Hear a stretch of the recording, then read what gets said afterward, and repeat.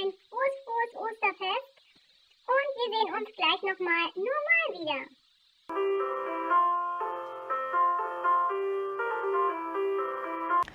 Hallo meine Lieben, ja, da bin ich zum nächsten Tea Time Video. Und zwar habt ihr mir ein paar Fragen gestellt, die ich euch heute gerne beantworten möchte. Als erstes fange ich an mit dem Lukas von Lukas Kleine Bastelwelt. Sorry, dass ich immer da so ein bisschen hochgucke, aber da ist mein Monitor und da habe ich mir die Fragen aufgeschrieben, damit ich auch äh, das vernünftig beantworte. Okay, also Lukas wollte von mir wissen, wie ich denn überhaupt zum Basteln gekommen bin. Ja, und das ist ziemlich einfach. Ich wollte für jemanden ein Geschenk machen, so ein bisschen individuell, nicht äh, so langweilig und irgendwas gekauftes, sondern was selbstgemachtes. Und dann habe ich bei YouTube mal ein bisschen geguckt und bin dann auf Sammy Finn und später auch auf Liebes, Liebesfuchs gestolpert und ähm, habe bei denen halt so ein paar Sachen mir angeguckt und ähm, fand die eigentlich total schön, die Sachen, die sie so gemacht haben. Ja, und habe da einige Sachen nachgebastelt mit äh, sehr, sehr, sehr geringen Mitteln, die ich hier zu Hause hatte. Äh, zu der Zeit hatte ich fast gar nichts an Bastelsachen. Ja, und äh, das hat mir mega Spaß gemacht und dann habe ich mir gedacht, ja, dann kaufst du dir vielleicht das ein oder andere Teilchen noch und dann, ähm, ja, habe ich immer mehr gebastelt, immer mehr und irgendwann habe ich dann gedacht, ja mein Gott, eigentlich könntest du doch auch die Kamera laufen lassen und das ein bisschen auf YouTube filmen. Genau, und so bin ich zum Basteln gekommen. Ja, als nächstes habe ich meine liebe Miss Fruchteis und sie wollte etwas über die Swaps wissen, die wir äh, bei der Stampin' Up Veranstaltung machen. Und zwar gibt es ja jetzt demnächst die One Stage, also am kommenden Freitag. Das ist eine Veranstaltung, für alle, die es nicht wissen, intern von Stampin' Up, wo auch äh, nur Stampin' Up Mitarbeiter eben ähm, dabei sein dürfen. Dort werden zum Beispiel neue Kataloge vorgestellt. Dort ähm, kann man kreativ, eine kreative Zeit haben. Dort kann man eben diese kleinen Swaps, selbstgemachte Teilchen, ähm, mitbringen. Und sie wollte jetzt wissen, ob man wirklich äh, diese Swaps nur ähm, machen darf aus aktuellen Stamping-Up-Produkten. Und ja, das ist so. Und ich nehme stark an, also ich weiß es nicht ganz genau, aber ich denke, dass es einfach aus dem Grund sein wird, dass äh, zum Beispiel die Sachen von der Celebration, die es jetzt gab, das sind so Sondersachen, die man sich ab einem bestimmten Bestellwert aussuchen darf. Und ich nehme stark an, dass nicht jeder das gleiche hat, weil wir sind ja doch sehr unterschiedliche Menschen. Und da die äh, Celebration dann schon zu Ende ist, äh, könnte man sich die Sachen eben auch nicht mehr bestellen. Und das wäre sehr schade, weil man dann eben ja, die Sachen nicht mehr nachbasteln kann. Und so ist es eben auch mit allen anderen Produkten, die vielleicht schon lange aus den Katalogen raus sind und so weiter. Die hat eben nicht mehr jeder greifbar, kann sie sich nicht nachbestellen und könnte somit die Sachen nicht nachbasteln. Und ich denke, dass das einfach der Grund ist. Ich habe jetzt übrigens hier keinen Swap äh, mit vor die Kamera genommen, einfach aus dem Grund, ich möchte euch die Swaps, die ich selbst gemacht habe und die ich dann eben auch getauscht habe, äh, in einem separaten Video zeigen, irgendwann nach der One Stage. Und deswegen zeige ich euch die jetzt noch nicht. Ich werde aber auch ein Video machen, also einmal werde ich ein Video machen, wo ich euch die Sachen zeige die Swaps, die ich selber verschenkt habe, wie auch die Sachen, die ich bekommen habe, also getauscht habe. Und ich werde ein Video machen, ähm, in dem ich euch zeigen werde, wie ich meine Swaps gebastelt habe. Genau. Also das kommt auf jeden Fall noch, da könnt ihr euch noch drauf freuen. Als nächstes habe ich eine Frage von Goldbody bekommen. Und zwar hat sie mich gefragt, ob ich auch äh, stricke oder häkle. Äh, stricken ehrlich gesagt mache ich nicht wirklich gern. Meine Omi hat mir das vor vielen Jahren mal gezeigt. Ich kann es, aber es macht mir einfach keinen Spaß. Ich kann dir nicht erklären, warum. Häkeln tue ich allerdings schon. Ähm, ja, vielleicht nicht immer so toll, aber ich sag mal so einfache Sachen wie Mützchen habe ich schon ganz viele verschenkt für Babys, wenn äh, Babys geboren worden sind oder aber auch so kleine Schüchen. Also sowas kriege ich einigermaßen hin. Und äh, dafür gucke ich dann immer auf eins der vielen, vielen YouTube-Videos, die es gibt, für die ich sehr, sehr dankbar bin, wo die Leute wirklich tolle Sachen zeigen, die sie häkeln und wo man es toll nachmachen kann. Was ich mir mal selbst ausgedacht habe, habe ich hier oben sitzen. Und zwar habe ich mir mal so eine Pippi gehäkelt. Und zu der Zeit, als ich die gemacht habe, hatte ich hier oben blonde Haare und unten blau.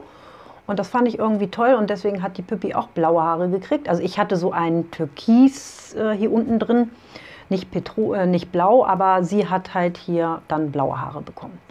Ja, und die habe ich mir mal gehäkelt. Die finde ich auch ganz witzig, aber ähm, für meine Ansprüche nicht schön genug, um sie zu verschenken. Und da es auch so ein, ja, so ein erstes Teilchen war, was ich mir selbst ausgedacht habe, äh, bleibt die sowieso bei mir. Dann hat sie noch so ein paar Wackelaugen bekommen, die habe ich vom Action äh, mal geholt und die habe ich ihr einfach nur aufgeklebt, einen kleinen Mund noch rein, ja. Füßchen dran, dass sie auch sitzen kann und ja, die Hand, die stand immer so merkwürdig komisch hier irgendwie so komisch ab und dann habe ich die hier einfach angenäht und fertig ist. Ja, und der Arm, den fand ich ganz in Ordnung, so wie er war und deswegen habe ich ihn auch so gelassen. Ja. Und die Pippi sitzt immer da oben und schaut mich an. Und da kommt sie auch gleich wieder hin. Ja, also so viel dazu. Ähm, dann die Anis Kreativkiste hat äh, mich gefragt über Stampin' Up so ein bisschen äh, genauer, wie ich, da, wie ich denn äh, dazu gekommen bin, beziehungsweise seit wann ich Demonstratorin bin und wie ich das mit meinem Start gemacht habe in Bezug auf äh, Absatzzahlen und Kundengewinnung und die Buchhaltung. Und da steckt so viel drin, ähm, was vieles mich aber gar nicht beschäftigt. Und zwar erkläre ich das mal. Ich bin Stampin' Up Demonstratorin geworden für mich als Hobby. Und zwar müsst ihr euch das äh, so vorstellen, man hat bei Stampin' Up sehr, sehr viele Möglichkeiten. Man kann einmal, so wie ich, sagen, nö, ich mache das nur für mich. Ähm, man hat dann in einem bestimmten Quartal eine bestimmte, einen bestimmten Absatz, den man quasi erfüllen muss, also den man bestellen muss, einen bestimmten Bestellwert. Und ähm, dann kann man eben sagen, okay, das mache ich nur für mich und ähm, bestelle dann eben so und so oft und habe dann dieses Kontingent eben für mich erfüllt. Oder aber man sagt, jawohl, ich möchte äh, Kunden gewinnen und möchte eben sehr, sehr viel Geld mit Stampin' Up verdienen. Und umso mehr man macht, umso mehr verdient man dann eben, umso mehr man eben verkauft. Ja, und äh, das war nie mein, äh, mein persönlicher Anspruch. Das wollte ich nie für mich. Äh, war einfach nur, ich möchte das als Hobby für mich machen. Und ich liebe diese Stampin' Up-Produkte. Und ich wollte einfach mh, hm, mal außergewöhnliche Sachen haben. Wie zum Beispiel, ich mag nicht gerne Klamotten, die jetzt jeder zweite trägt. Also sagen wir jetzt mal zum Beispiel New Yorker. New Yorker ist eine relativ günstige Marke und ähm, sehr viele Leute kaufen sich Klamotten von New Yorker und tragen die halt. Und ähm, ja, ich mag das auch. Es gibt auch Teile, natürlich habe ich auch was von New Yorker im Schrank. Es ist jetzt nicht so, dass ich jetzt nur irgendwelche Sachen habe, die kein anderer hat. So ist es auch nicht. Aber ich mag immer so ein paar besondere Sachen, wenn ich mal so einen besonderen Tag habe. Und dann nehme ich eben Klamotten, die ich mir entweder selbst genäht habe, die dann wirklich niemand anders hat, außer ich. Oder aber ich nehme mir, äh, ich ziehe dann Sachen an aus Shops, die vielleicht nicht so berühmt bekannt sind oder ähm, bestimmte Shops, die halt eben etwas ausgefallener sind vom Style her, was aber einfach nicht jeder trägt, weil sich manche das vielleicht nicht trauen oder keine Ahnung warum. Und äh, ich habe ab und an Tage, da mag ich das einfach so ein bisschen, ja, ich will jetzt nicht unbedingt herausstechen und es soll mich jetzt nicht jeder angucken, so ist es auch nicht. Aber mh, hm, es gibt schon Tage, wo ich einfach so was anderes mag. Einfach nicht das, was eben jeder hat, was jeder trägt und so weiter. Und genau so ist es für mich auch beim Basteln. Und ich finde, Stampin' Up ist erstens äh, sehr hochwertig qualitativ. Äh, zweitens kauft es nicht jeder, wie jetzt zum Beispiel die Action-Sachen. die haben die meisten. Viele, viele Leute haben Sachen vom Action. Ist super. Ähm, Finde ich auch völlig in Ordnung. Ich selber habe auch sehr viele Sachen vom Action. Ihr wisst das durch meine Hauls. Und ich finde es auch super, dass es sowas gibt, dass eben auch Leute, die vielleicht finanziell nicht so die Möglichkeit haben, sich auch mal andere Sachen zu kaufen, dass sie trotzdem nicht darauf verzichten müssen, dieses Hobby trotzdem ausüben können und dann eben die, äh, die Action-Sachen haben. Finde ich super. Aber ich persönlich mag eben auch gerne mal etwas, was so ein bisschen ausgefallener ist. Und dafür finde ich, sind die Stampin' Up Produkte eben genau das Richtige für mich. Ja, und das ist eigentlich der Grund, warum ich so mit Stampin' Up angefangen habe. Ja, und ähm, als nächstes mit den Absatzzahlen. Dadurch, dass ich es nur als Hobby betreibe, musste ich mir nie über Kunden- oder Absatzzahlen oder so Gedanken machen. Ich muss einfach nur gucken, habe ich in meinem Quartal genug bestellt oder nicht. Und alles andere braucht mich nicht interessieren. So, ja, was gibt es dann noch? Ähm, genau, Buchhaltung.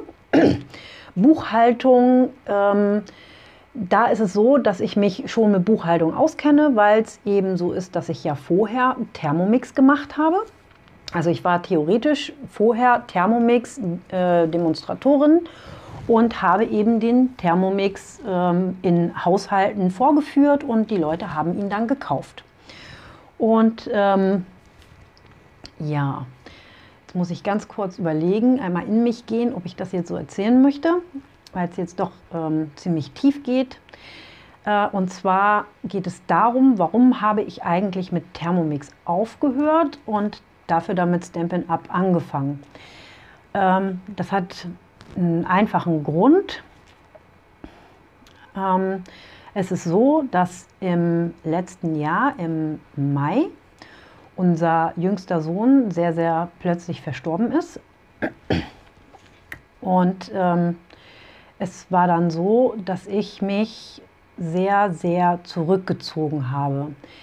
Äh, mich quasi nur noch in meinem Zimmerchen ja, aufgehalten habe, meistens hier halt drin war und ähm, dann vor mich hingebastelt habe. Und ähm, es war dann so, dass ähm, natürlich Thermomix dann nach einer gewissen Zeit auch fragt, was ist denn, möchten Sie denn überhaupt Thermomix weitermachen? Und ähm, man hat sehr, also meine Chefin sozusagen, also meine Gruppen- oder Teamleiterin, der ich äh, sehr, sehr dankbar bin für vieles, hat mir immer sehr zur Seite gestanden und ähm, hat auch äh, oft sich nach mir erkundigt, wie es mir geht und, und so weiter und so weiter. Und es war aber so, dass ich irgendwann einfach für mich eine Entscheidung treffen musste, wie geht es jetzt weiter. Und bei Thermomix ist es einfach so, dass man, natürlich hätte ich auch einen YouTube-Kanal machen können und dann eben mit dem Thermomix kochen können und versuchen können, darüber dann Thermomix-Geräte zu verkaufen. War für mich aber nicht die wirkliche Lösung, weil YouTube theoretisch für mich ja eigentlich auch nur ein Hobby ist ist ja jetzt auch nicht irgendwas, womit ich jetzt äh, irgendwie Geld verdienen möchte oder so, sondern einfach ein Hobby, das mir Spaß macht. Und ähm, ja, es ist eben so, dass äh, mit Thermomix hat man eben auch im Nachhinein, also man hat einmal natürlich diese Partys, wohin man dann eingeladen wird und dann äh, mit Gästen dann eben den Thermomix vorführt, gemeinsam kocht, gemeinsam isst und einen schönen Abend hat. Das macht theoretisch auch Spaß. Es hat mir immer viel Spaß gemacht. Es ist toll, fremde, neue Leute kennenzulernen.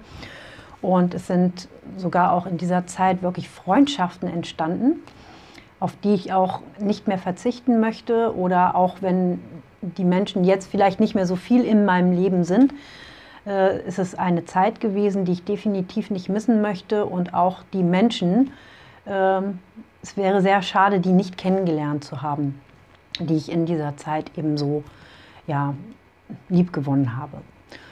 Und ähm, ja, es war einfach so, wie gesagt, dass es für mich sehr, sehr schwer war, hier aus meinem Zimmer überhaupt irgendwie wieder rauszukommen. Und ähm, ich musste mich ablenken. Ich konnte einfach nicht darüber nachdenken, was passiert ist. Und ähm, Deswegen habe ich dann eben irgendwann die Entscheidung getroffen, ich werde kein Thermomix mehr machen. Ich bin nicht in der Lage dazu, zu Leuten zu fahren, dort ein fröhliches ähm, Gesicht aufzusetzen und den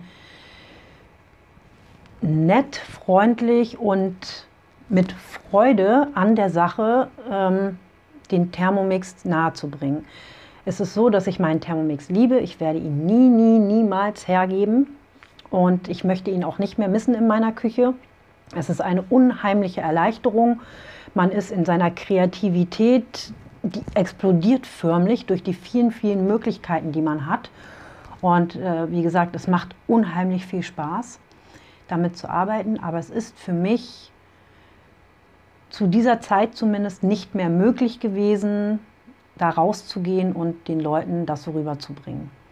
Und das wollte ich weder für mich, dass ich mich da irgendwie rumquäle, noch wollte ich es für die Kunden, ähm, dass sie da jemanden hatten, der plötzlich in Tränen ausbricht oder so. Oder auf einmal gar nicht mehr weiß, was er eigentlich erzählen wollte, weil auf einmal alle Gedanken weg sind das wäre einfach nicht gegangen. Das wäre nicht für mich gegangen, das wäre nicht für Vorwerk gegangen und deswegen habe ich die Entscheidung getroffen. Und ähm, ja, dadurch, dass ich eben hier in meinem Zimmer so eingeigelt war und dann eben, wie ich vorhin bei Lukas Frage schon gesagt hatte, dann auch gedacht habe, Mensch, dann kannst du doch die Kamera anmachen. Und das hat mich alles abgelenkt. Es hat mich ähm, zu anderen Gedanken gebracht. Es hat mir wieder neue Freunde gebracht, die ich auch wirklich sehr lieb habe. Und ähm, ja, also einige von euch habe ich wirklich sehr lieb gewonnen und ähm, es ist, wenn man einen Kommentar von manchen Leuten liest, ist es einfach, als wenn man einem Freund begegnet und freut sich einfach darüber. Also so geht es mir oft, wenn ich die Kommentare von euch lese, gerade die, die wirklich sehr häufig oder sehr regelmäßig dabei sind und ähm, sehr regelmäßig eben auch an meinem Kanal quasi mitarbeiten. Ja, Okay, ihr Lieben, ja, jetzt habe ich auch, glaube ich, ein bisschen den Faden verloren. Ähm, genau, Buchhaltung, da bin ich ähm, von abgekommen. Also wie gesagt, ich kenne die Buchhaltung durch Thermomix, aber dadurch, natürlich muss ich trotzdem meine ganzen Quittungen, Bons und alles aufheben und äh, auch wenn ich was verkaufe für andere oder so, muss ich das alles abheften. Bei mir ist diese ganze Buchhaltungsgeschichte sowieso noch mal was anderes, da ich ja verheiratet bin und äh, bei uns das alles ein bisschen anders dann noch geregelt ist. da möchte ich jetzt aber nicht so genau drauf eingehen. Und ähm, da müsst ihr für euch auch schauen, werdet ihr mit eurem Mann zusammen veranschlagt oder wie funktioniert eure Buchhaltung. Also da müsst ihr euch beim Steuerberater informieren und der wird euch dann erklären, was für eine Buchhaltung ihr braucht. Da ich einen bestimmten Umsatz mit dieser Geschichte sowieso wahrscheinlich nicht erreichen werde, äh, ist es einfach so, dass ähm, das quasi jetzt noch als Hobby gilt. Also es ist ähm, natürlich immer möglich, dass ihr Bestellungen über mich macht. Das ist aber nicht mein Ziel mit Stampin' Up. Also klar freue ich mich, wenn ihr sagt, ja, ich möchte gern was bei dir bestellen, weil ähm, dadurch muss ich dann eben weniger bestellen. Und wenn man mal einen Monat hat, wo man sagt, ach, diesen Monat, ich weiß gar nicht, was ich mir bestellen soll, obwohl es eigentlich immer so neue Sachen gibt und es ja auch immer neue Aktionen gibt und man immer wieder was findet, was man dann doch gerne noch haben möchte. Manchmal ist es aber einfach so, dass man sagt, oder diesen Monat habe ich so viel Geld für andere Sachen ausgegeben und dann hätte man das Geld vielleicht gern für andere Sachen. Kann alles mal passieren, deswegen überhaupt kein Ding. Ihr dürft immer gerne bei mir bestellen. Es ist nur einfach nicht mein Ziel zu sagen, ich möchte viel Geld mit Stampin' Up verdienen. Fertig. Und ähm, zu deinem letzten, was du noch geschrieben hast, dass du eben auch mit dem Gedanken spielst, Demonstratorin zu werden. Auch da darfst du mich gerne anschreiben. Wir haben ja privat auch schon mal ein bisschen Kontakt gehabt. Du darfst äh, mich gerne privat mal anschreiben, wenn du da wirklich Interesse dran hast. Dann äh, würde ich dir mal ein paar Infos weitergeben. Und ähm, ja, dann könntest du ähm, quasi äh, über mich halt mit Stampin' Up auch anfangen, wenn du möchtest. Also sowas geht zum Beispiel auch. Ja, gut. Oder ich leite dich weiter an meine äh, Gruppenleitung sozusagen, wenn dir das lieber ist, wenn du jemanden lieber hättest, der eben da mehr Erfahrung hat, weil ich bei vielen Sachen auch noch nachfragen muss, da ich eben noch nicht so lange dabei bin. Das darfst du natürlich ganz für dich selbst entscheiden. Ja, ihr Lieben, das war jetzt ein ziemlich langes Video mal wieder und ich habe sehr, sehr viel erzählt. Es gilt genau wie beim letzten Mal. Ihr dürft gerne wieder unten in die Kommentare ähm, Fragen schreiben und ich werde mich bemühen, sie euch ähm, ja, zu beantworten, so wie ich eben kann. Ja, ihr Süßen, dann möchte ich mich ähm, verabschieden von euch und sag euch noch eine schöne Zeit, wann auch immer ihr gerade das Video schaut. Und dann bis bald. Ich habe ein bisschen ähm, Snapchat in Out.